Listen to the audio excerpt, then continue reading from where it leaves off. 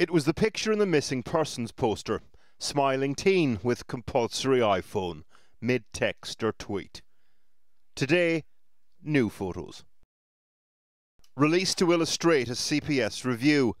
The question if Arnis Zalkalns hadn't taken his own life, would he have been charged with the murder of Alice Gross? The answer to that question today was yes, and with it new details emerged. This is the anatomy of that terrible crime. You may remember the footage of Alice power walking along the canal and Zalkalns following behind. After catching up with her, a window of 80 minutes, during which time he murdered her. Now, new footage shows him directly afterwards leaving the scene. Throughout the next 24 hours, he returns again and again. In between, a visit to a local off licence, shares a joke with the shopkeeper, then returns again. At the time, many questioned why it took police so long to find Alice's body. All these visits, part of the answer. He'd gone to enormous lengths to conceal her. She was tied up, she was placed in bin liners, um, she was also weighed down with a bicycle uh, wheel, and on top of those bicycle wheels were bricks.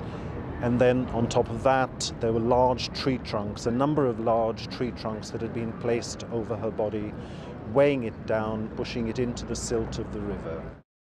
It emerged during the search that Zolkan, a Latvian national, had been arrested for a sexual assault on a 14 year old girl in London in 2009, but she didn't press charges. At the time, police did not routinely check for foreign convictions. If they had, they would have discovered that Zalkalns had murdered his wife in 1998. In 2006, we conducted about 570 checks.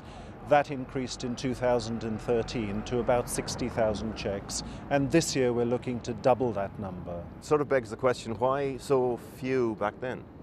Well, that was simply things, yeah. the, the, the way things were in those days. Foreign nationals have been identified in terms of the potential for offending in the UK.